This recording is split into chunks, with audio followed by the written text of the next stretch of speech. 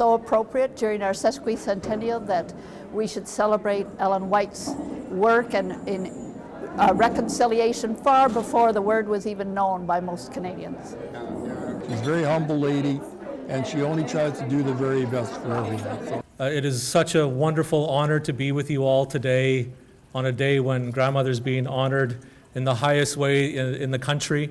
Auntie Ellen's been a champion of our peoples and bridging our worlds together, the Western world and the First Nations world. She is so deserving of this award, and it's time. It's time that she got it, and we're just all here to celebrate that day. At the university, as a result of, uh, of Ellen's teachings, as a, a, a result of Ellen's emphasis, the culture has come to the place where we work on a basis of love. And I'm feeling happy because it's a very beautiful, special day.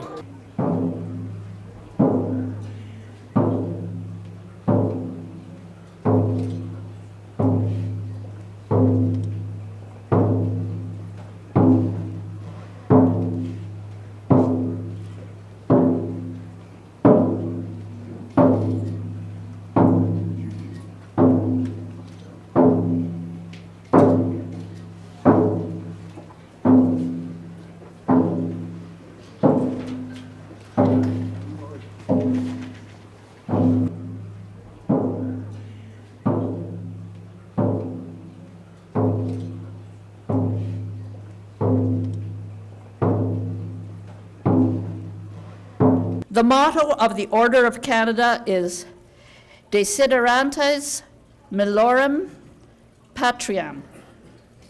They desire a better country. I cannot think of a more appropriate motto to add to the many distinctions already earned by Ellen White.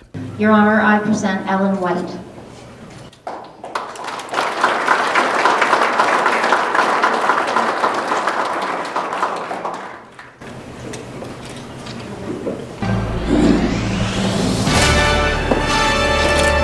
Love you, Ellen.